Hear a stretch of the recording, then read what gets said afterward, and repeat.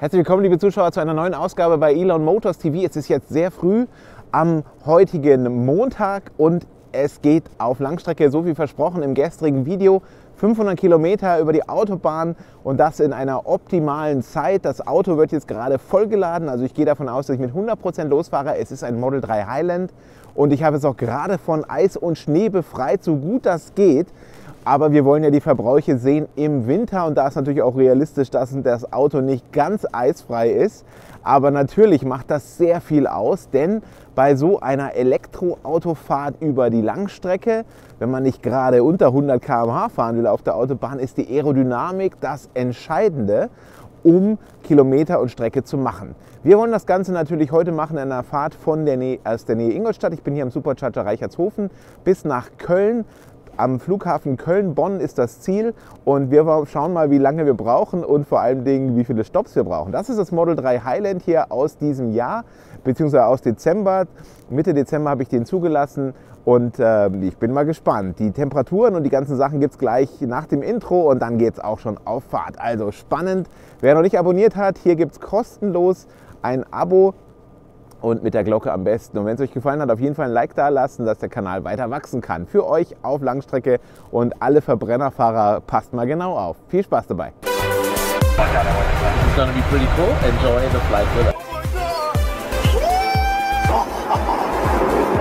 It's insane.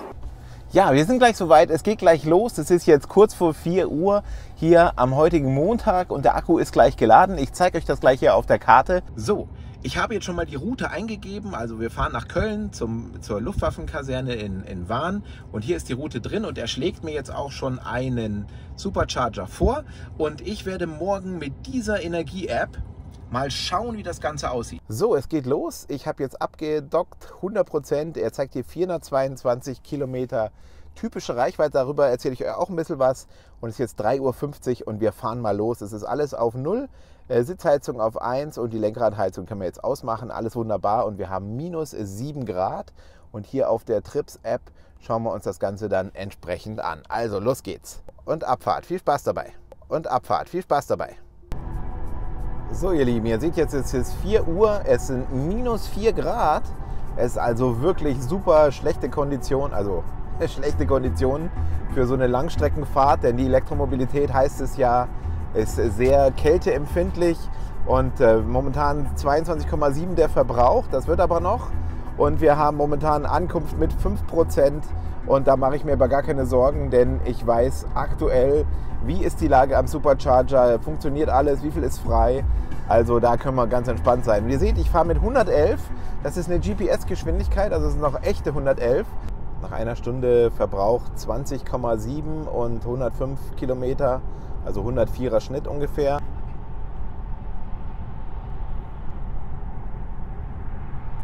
So, liebe Zuschauer, es ist jetzt soweit. Ich fahre jetzt gleich ab, noch drei Kilometer am Supercharger Weibersbrunn.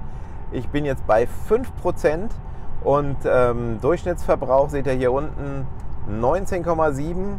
268 Kilometer sind jetzt gefahren und die Batterie wird jetzt vorkonditioniert und äh, sieht also ganz gut aus. Und ich zeige euch mal den Verbrauchs-App. Das ist jetzt ganz interessant. Hier sieht man auch noch mal die äh, Wind war hier auch mit drin aus Nordosten, also ein bisschen Rückenwind.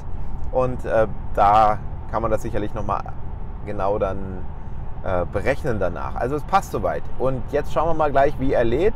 Also vom Supercharger melde ich mich dann. So, 6.28 Uhr. Ich fange jetzt mal an zu laden und ähm, 173 seht ihr schon, ist die Ladeleistung. Das ist natürlich super und das bedeutet, wir laden jetzt relativ schnell voll und er plant natürlich jetzt auch gleich weiter. Gute fortsetzen und dann sieht man auch gleich, wie es weitergehen könnte. Ich habe jetzt aber gerade schon gesehen, da sind ein paar, ähm, hier ist natürlich auch ein Stau. Also das wird heute nicht lustig. Ne? Da ist relativ viel los und vor allen Dingen sind auch die, hier habe ich jetzt schon ein paar Traktoren hier gesehen, also ist auch nicht so doll. Ja, liebe Zuschauer, so, die erste Etappe ist äh, erfolgreich gefahren worden. Ähm, von den Verbräuchen her 19,5 nach äh, 2 Stunden 39, nach 272 Kilometern ist relativ hoch. Aber das muss daran liegen, dass es halt wirklich sehr kalt ist. Sind minus 4 Grad. Ich hatte die Heizung die ganze Zeit auf 20 Grad, eine Stufe auf der Sitzheizung. Wir hatten auf dem ersten Teilschritt von Ingolstadt nach Nürnberg Nordostwind. Das war natürlich ein bisschen von rechts vorne.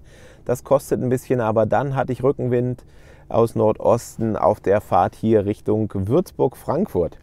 Ähm, die Energiekurve habt ihr ja gesehen. Ähm, das können wir uns auch noch mal, jetzt schaue ich mal, ob das noch drin ist. Nein, das ist jetzt weg, aber das haben wir ja gerade gesehen, kurz vor der Abfahrt. Ähm, und jetzt geht es gleich weiter. Ich zeige euch das gleich, wie die Ladeplanung weiter ist. Hier vorne waren jetzt allerdings ein paar Traktoren. Ich hoffe, die lassen mich da durch, dass es dann auch weitergehen kann. Und jetzt schauen wir uns mal die Route an. Wahrscheinlich werde ich, um die Ladezeit zu optimieren, ihr kennt ja, dass äh, so ein Akku, der lädt ja am Anfang relativ schnell und dann lässt er nach. Das heißt, so eine Vollladung, die macht natürlich wenig Sinn, die dauert auch eine Stunde. Und ich habe gesagt, ich möchte eigentlich nicht länger als 30 Minuten laden. Und jetzt wollen wir das mal optimieren. Ich habe jetzt um 6.28 Uhr angefangen und es ist jetzt 6.38 Uhr, 6.38 Uhr, vielleicht 10 Minuten später.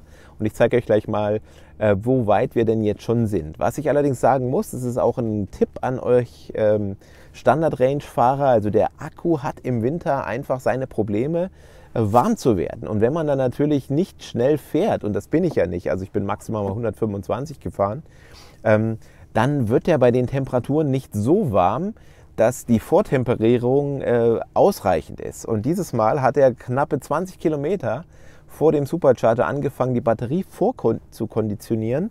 Und das hat nicht gereicht, denn ich zeige euch gleich, er sagt mir jetzt immer noch, dass die Batterietemperatur nicht ausreichend hoch ist und deswegen lädt er jetzt nicht ganz. Das schauen wir uns mal an. Steht praktisch hier jetzt bei dem 101, dass die Batterietemperatur niedrig ist und deswegen lädt er jetzt momentan mit reduzierter Leistung. Er hat knapp mit 170 angefangen Kilowatt und ist jetzt bei 110, 100, 101 und das könnte etwas höher sein, denn wir sind jetzt bei nach 10 Minuten bei 36 Prozent. Also wir haben nach 10 Minuten äh, ungefähr 120 Kilometer nachgeladen. Ne? Das sind ungefähr 7 Minuten pro 100 Kilometer. Und das ist schon nicht schlecht. Also so, äh, so kann man das machen. Ähm, das heißt, ich werde jetzt nicht eine Stunde laden, um jetzt hier ganz zum Schluss Zeit zu verlieren, sondern wenn der Supercharger oder die Ladestation sehr nah an der Autobahn ist, und das war ja hier innerhalb von einer Minute war ich am Anstöpseln, dann ähm, lohnt sich das durchaus zu überlegen, auch noch einen zweiten Ladepunkt einzunehmen, der so wie hier jetzt dann mit 250 Kilowatt Ladeleistung auch schnell ist. Und dann äh, kann man das optimieren. Und wenn ich jetzt um 6.48 Uhr meine 50 Prozent habe, da schauen wir uns gleich an, dann ähm, dann passt die Strategie soweit. Ich hoffe jetzt halt nur, dass es klappt mit den, mit den äh, LKW, äh, mit den, mit den Agrarfahrzeugen hier. Ich verstehe deren Unmut auch, aber ich hoffe mal, dass ich doch äh, auf die Autobahn komme und dann doch pünktlich zum Dienst komme. Ja, und wie bin ich froh, dass ich nicht für 1,78 laden muss, sondern ich jetzt hier stehen kann und den Highland am Supercharger in Weibersbrunn ohne Transaktion am Schalter durchführen zu lassen. Sieht schon cool aus, wie er da steht. Also ich hatte ihn ja eisbefreit und er ist relativ sauber. Hier vorne noch etwas Frost hier im Bereich. Das ist sicherlich auch nicht optimal, aber die Motorhaube habe ich freigekriegt und dann schauen wir mal, dass es gleich weitergeht. Also 20 Minuten habe ich mir vorgenommen, hier zu laden und dann nochmal 10 Minuten danach, um einfach die Ladekurve zu optimieren und dann schaffen wir es auch in einer vernünftigen Zeit zum Ziel zu kommen. So, jetzt sind wir soweit. 6.48 Uhr. Wir haben knapp 60 Prozent weiter ähm, geladen, beziehungsweise sind jetzt bei 60 Prozent. Er sagt jetzt mir zwar noch 9 Minuten, aber ähm, ich werde das jetzt mal unterbrechen. Ich habe mal geschaut, ich habe jetzt hier vorher auch noch einen Limburg an der Lahn, ist auch noch ein schöner 250k äh, Supercharger. Also ihr seht hier auf der Route, man hat genug, genug Chancen zu laden und deswegen ist es jetzt auch ganz okay. 6.48 Uhr, äh, jetzt schauen wir mal, wie es weitergeht. 20 Minuten habe ich jetzt geladen, 60 Prozent sind nachgeladen, 34 Kilowattstunden hat er nachgeladen in 20 Minuten.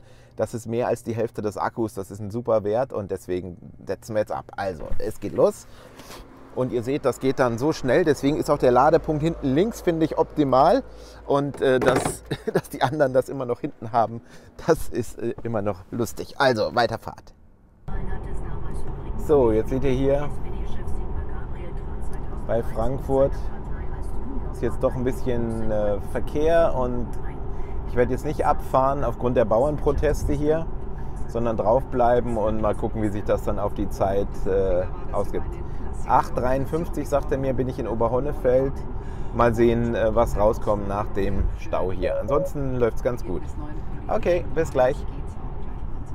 So, es ist jetzt äh, 8.37 Uhr. Eben war natürlich rot hier noch an der Ampel und jetzt laden wir hier. Sieht aber gut aus. Aufgrund des äh, Traktorstreiks komme ich hier auch gut wieder drauf. Das ist gut. Wir sind jetzt bei 24 Prozent und er ist jetzt gleich bei 127. Das passt ganz gut. Und jetzt rechne ich mal die Route durch, ähm, wie lange wir dann noch haben. Es sind noch, ja, Moment. Das ist eigentlich auch ganz gut gemacht hier, ne, dass man das nicht braucht.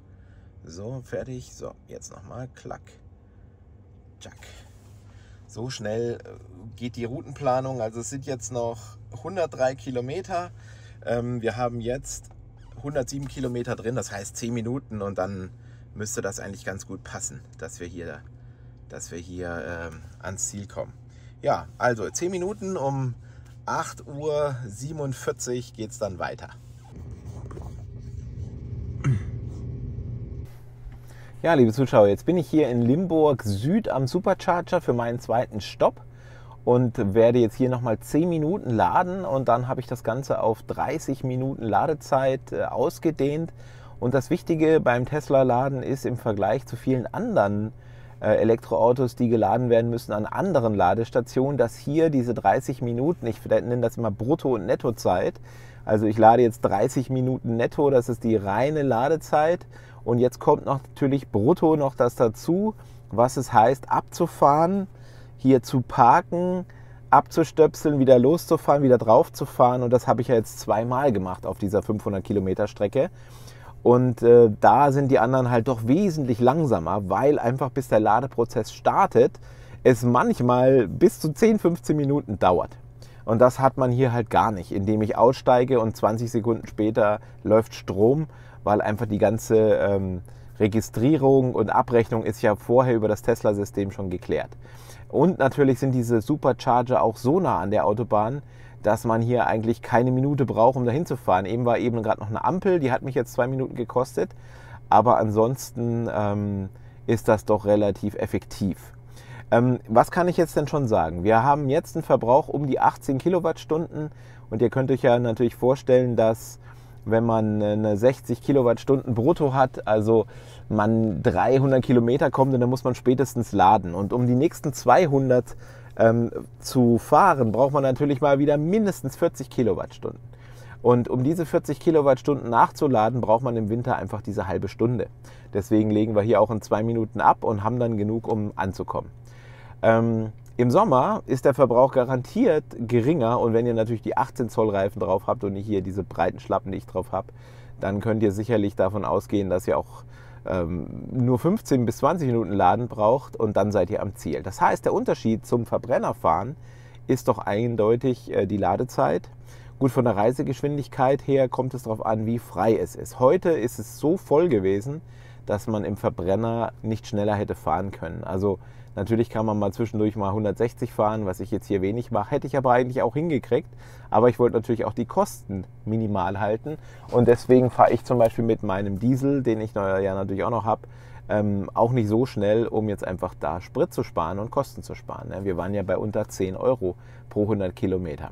Jetzt schauen wir uns das an, sobald wir da sind und dann gibt es natürlich noch ein Fazit zu der Fahrt, aber ich sag mal, heute ist was Besonderes, weil einige Ausfahrten sind durch die Traktorfahrer, die die, ähm, den Agrarstreik, der heute stattfindet, blockiert. Und deswegen bin ich jetzt auch lieber hier in Limburg schon runtergefahren, ähm, anstatt in Oberhonnefeld, weil da war eigentlich alles rot. Da hoffe ich jetzt aber ganz gut durchzukommen. Also in diesem Sinne, es geht weiter. So, 8.48 Uhr, ich dock jetzt ab. Wir haben knapp 50 Prozent. Er lädt jetzt gerade, also wir haben 15 Kilowattstunden nachgeladen. Das sind auch das, was ich gerade gesagt habe. Also eigentlich bräuchte ich noch fünf Minuten, um einfach jetzt hier 20, aber das passt auch so. Wir kommen mit 9% an, also das reicht mir jetzt, um einfach weiterzufahren. Jo, also ab, ab geht's. Ja, liebe Zuschauer, ich äh, muss jetzt leider die Testfahrt abbrechen, Wir haben jetzt 445 Kilometer, einen Verbrauch von 18,7 und es ist 9.20 Uhr, weil einfach durch die Traktoren musste ich jetzt einen Umweg fahren und fahre jetzt praktisch über, zeig's euch, hier südlich über Koblenz, weiter dann Richtung Bonn und dann das Ganze jetzt hier auf so einer Art Bundesstraße. Deswegen ähm, kann man das Ganze jetzt äh, resümieren lassen, sobald ich dann am Ziel bin und dann schneide ich euch das für euch zusammen und dann gibt es ein Fazit. Also. Ja, am Ziel bin ich. Es sind schon einige Stunden vergangen und ich habe mir jetzt Gedanken gemacht, was erzähle ich euch denn heute? Ihr habt es ja selber gesehen. Ich habe alles mitgefilmt Leider waren die Rahmenbedingungen nicht optimal. Durch den Traktorenstreik waren doch einige Probleme auf der Autobahn und ganz zum Schluss war dann auch noch eine Vollsperrung der Autobahn A3, 60, 70 Kilometer vor dem Ziel und da musste ich abfahren. Und das habt ihr auch gesehen, dass ich dann die Wertung nach 400 Kilometern beendet habe. Was ist aber die Quintessenz aus dem Video heute? Dass natürlich, um 500 Kilometer durchzufahren, man eine gewisse Kapazität braucht in der Batterie, die kann das Standard Range Model 3, wie ihr es hier hinter mir sieht, natürlich nicht liefern mit 60 Kilowattstunden. Aber ihr habt auch gesehen, dass ein Elektroauto im Winter durchaus in der Lage ist, Distanzen zu schaffen. Der Verbrauch war bei 18,4 Kilowattstunden auf 100 Kilometern und wenn man das ausrechnet, kommt man gute 300 Kilometer weit.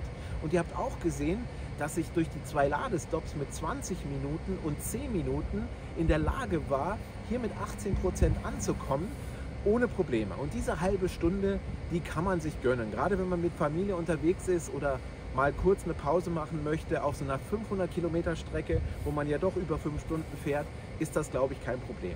Für die Pendler, die ich ja heute eigentlich auch dargestellt habe, ist es natürlich schon ein Vorteil, wenn man sagen kann, ich kann 500 Kilometer durchfahren und wenn die Autobahn frei ist, kann ich das auch schneller. Ich bin ja heute nicht so schnell gefahren. Also da ist es sicherlich noch äh, Verbesserungspotenzial, aber man muss natürlich ganz klar sagen, wenn man die etwas größere Batterie kauft oder ein Model S Long Range, dann kann man auch 400 Kilometer im Winter durchfahren oder auch im Sommer sogar die 500 Kilometer. Also wenn es daran noch liegt. Wir werden auf jeden Fall diesen Test wiederholen. Ich kann es euch jetzt nicht versprechen, dass es am Mittwochabend, wenn ich wieder fahre, besser wird, aber ich habe das auf jeden Fall auf der Agenda-Liste und wir wollen jetzt nicht so viel Zeit verschwenden. Ihr habt auf jeden Fall viele Techniks gesehen, wie ich das mache, wie ich das bewerte und was man machen kann, um zeitoptimal zu fahren. Und das nächste Mal wird es dann auch mit der Autobahn besser passen. Ich hoffe, es hat euch gefallen und wir machen einfach weiter mit der nächsten Gelegenheit, wo man sowas machen kann. Und jetzt verabschiede ich mich euch. Im nächsten Film seht ihr denn das angekündigte Model 3 in der Version Highland Performance. Und was es da schon für Erkenntnisse gibt, das werden wir dann sehen.